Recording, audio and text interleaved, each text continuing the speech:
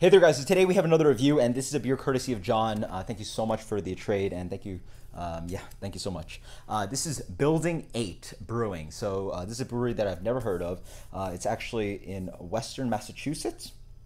I believe it's called Northampton. Uh, this is their IPA, 6.5%. It actually is called the IPA.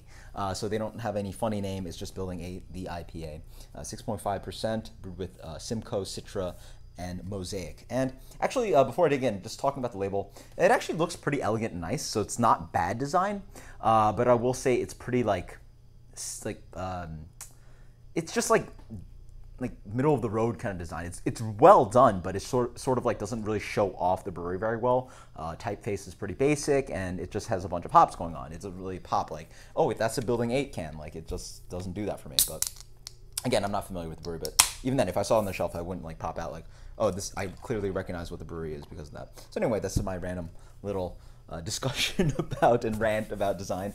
Um, I, I, always love design in craft beer. So uh, anyway, we're talking about the beer. Let's again.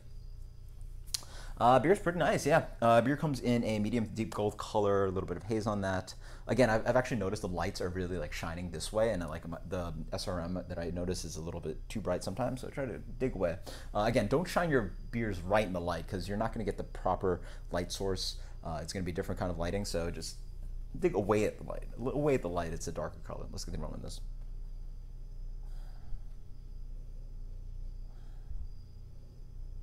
Hmm, very nice. Um, get a little bit of that like Simcoe dankness, a little bit of the pine. I'm also probably getting a little bit of that mosaic kind of blueberry quality. Very nice, and it just like is very citrusy, uh, grassy. Mm, wow, it's a wonderful like melding of just like lots of things going on. It's a little cappy-ish. It's a little piney. It's a little bit grapefruity. So leaning towards a little bit tropical. It's a little bit mangoey. It's a little bit like bready it's, it's just like all these kind of things and it, it actually has a little bit that kind of oniony thing but also that really intense kind of like happy dank quality cheers.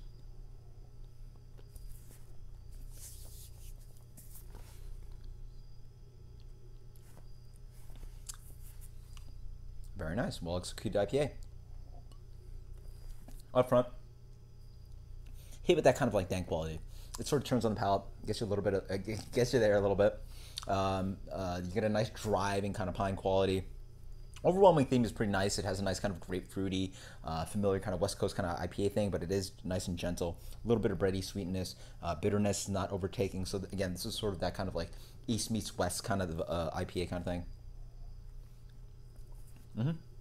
So you're getting those kind of like Simcoe piney kind of notes and um, a little bit of like bitterness on there. But there's actually not too much bitterness on the finish. It just has that kind of heaviness of like pine and a little bit of dank and cat pee. And it does have like a, a reasonable kind of like medium, um, kind of bready and biscuity kind of sweetness to it. Uh, but then it drives away quite nicely. So it does sort of have like uh, both things going on and transitions very well. So for West Coast uh, beer lover, you're going to like this because it has those familiar flavors up front, but then it also has that kind of clean kind of back uh, bone. It, re- it really has a wonderful kind of like um, a nice and creamy mouthfeel. Uh, very nice, yeah. Well executed. I really like this beer. Um, it leans a little bit West Coasty, so it, it, executes that quite well, and actually has that kind of haze to it too. So it like plays again both parts very well. Not the most explosive on the palate. Um, you know, just really good flavors lingering on and on. Uh, let's go with a 93 on this one.